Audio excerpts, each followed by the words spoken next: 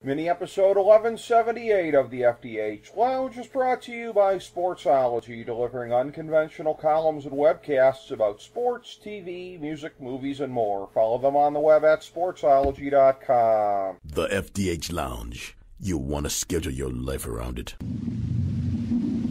A long time ago, on a gloomy, wet Cleveland spring night, two men stand alone amidst the late night drizzle. Their voices echo across the vacant station parking lot as they debate the merits of the great American radio show that have been missing for far too long. On that night, an idea was born. That idea became the FDH Lounge.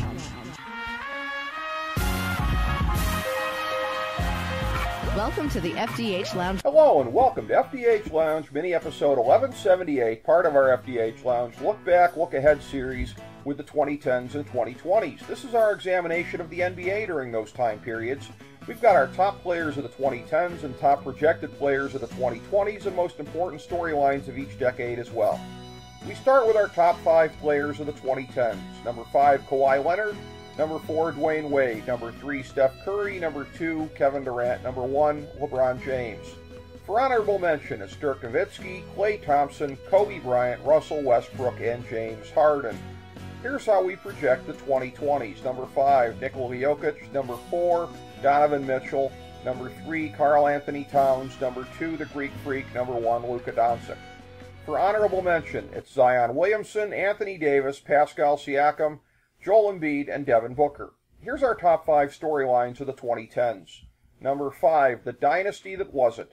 As the decade rolled on and the development of super teams became a regular thing, the super team that could have ruled them all was broken up in 2012 with only a single Western Conference title to their credit. Granted, few, if any, forecast James Harden becoming such a dominant player at the time of the trade, but that just underscores the huge nature of the understatement on this show when we proclaimed the deal the equivalent of the Ron Harper trade that broke up the late 80s, early 90s Cavs. OKC in the 2010s is a what if with few equals in NBA history, not least of which because one of the closest comparisons was Shaq leaving Penny, but then Penny's knees broke down about 15 minutes later. Number four, the fall and rise of the Lakers. Who could have forecast that Dallas's shocking 2011 playoff sweep of the Lakers would mark the end of the most fearsome team at the turn of the decade? The next thing you know, Kobe breaks down, the Lakers let him destroy their salary cap, and they went into arguably the worst downward spiral in franchise history. But then they signed LeBron in 2018 and tampered with the Pelicans, allegedly, to acquire Anthony Davis, and they end the decade having gone full circle. Number three, the 2016 TV deal changed the game as few business developments in sports ever have. When Disney and Turner paid exponentially more to retain their broadcast rights, the union resisted the option of gradually escalating the salary cap in favor of a massive one time cash grab. An unprecedented bonanza of massive deals reshaped the league's financial picture, and one deal in particular changed the very course of history. Golden State had the cap room to allow Kevin Durant to jump on board their bandwagon because they also had the previously injured Steph Curry on a below market contract at the time. This deck stacking move dominated the landscape of the league for the three seasons that this version of the Warriors were together. Number two, good or bad, no single player dominated the face of a decade like LeBron did the NBA in the 2010s. From the regrettable decision broadcast debacle to his maturation into a championship player in Miami to his epic return to Cleveland and central role in ending the city's unprecedented drought of 52 years without a major championship, to his move to LA for the epilogue to his career, LeBron was omnipresent, and he made it to the NBA Finals all four years in Miami and all four back in Cleveland, a streak only matched by the Bill Russell Celtics of the 1960s. Number one, the Warriors changed the game.